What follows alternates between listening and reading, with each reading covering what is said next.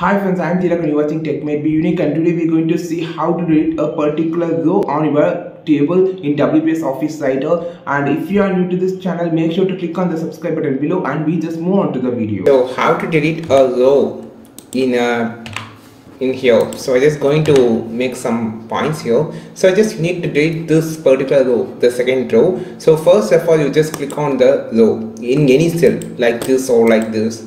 After clicking there just like you just need to go to click on the delete cell option here. After you just select the fourth option is for column and the third option which is for row. We delete the entire row just click on the third option and click ok. Now you can see the automatically row has been deleted here. So I just need to delete this fourth row. Click on the delete cell option.